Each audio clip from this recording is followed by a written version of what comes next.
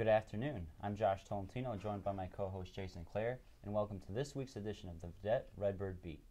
Since our last show, a trio of ISU team seasons have come to an end. A couple weeks back, ISU soccer lost in the round of 32 to Duke due to the fact of two goals in less than a minute after ISU tied up at one. The Blue Devils advanced into the tournament. A week later, ISU volleyball fell in the semifinal round of the MVC tournament, lost to the top seeded Missouri State Bears. Volleyball was not the only team to lose at the hands of a bear. Illinois State football lost to Central Arkansas Saturday 31 to 24 after getting off to a 10-0 lead.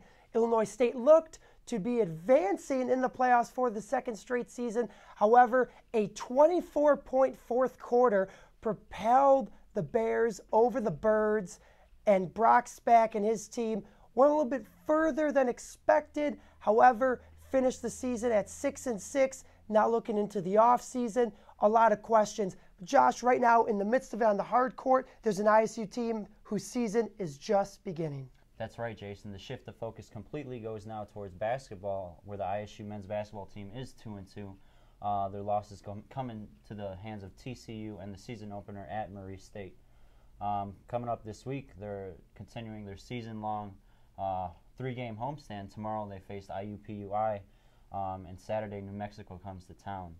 The team sits early at 500 um, through four games, Jason. But one thing that needs to improve in order, if they're going to pick up more wins, is defense. Uh, Coach Dan Muller has stressed that there's been a lack of defensive intensity um, throughout the team. They're not playing complete team defense. And one problem that can be attributed to that is the lack of depth. Uh, right now, they're missing big man Daouda Ndiaye. Uh, Keyshawn Evans was sick this past weekend. And also, um, Madison Williams has just recovered from a concussion. So, once this team is fully healthy, I think the defense will improve along with other aspects of the game.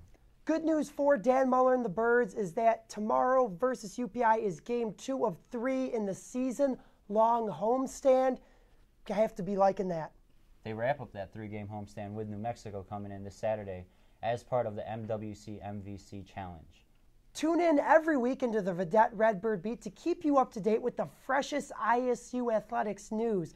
For Josh Tolentino, I'm Jason Klaer. Thank you for joining us.